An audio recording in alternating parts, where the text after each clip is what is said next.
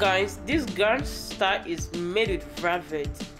Like i love the shoulder that flare that details there is so beautiful and unique. And i love the gown it's just so classy and simple.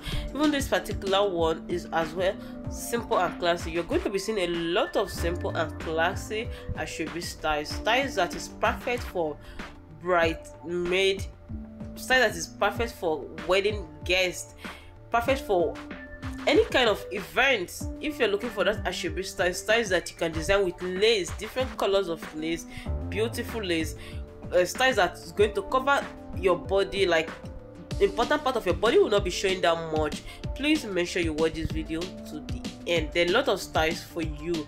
And also don't forget to share in the comment section your favorite style in this particular video. And also if you like any of the style you can go ahead and uh, screenshot and send to your designer your tailor or if you want me to help you to sort out the designer that designed the styles or the cloth brand that owns it please go ahead and screenshot. Send me send me dms on instagram or tell me the record number because as this, video is playing you're going to be seeing a particular record number. Please go ahead and take that particular style the record number and send to me. I'll help you out to sort it. That is why i'm here.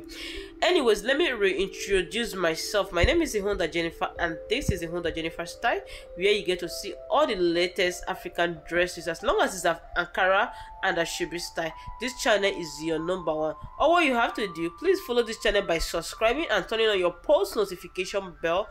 That enable you to be notified whenever i upload future video. I will be leaving right now to enjoy this video to the end. See you guys on the next video. But know that i am not the fashion designer of any of the star in this particular video. I only showcase. That is what i do here on youtube. See you guys on the next video. Bye for now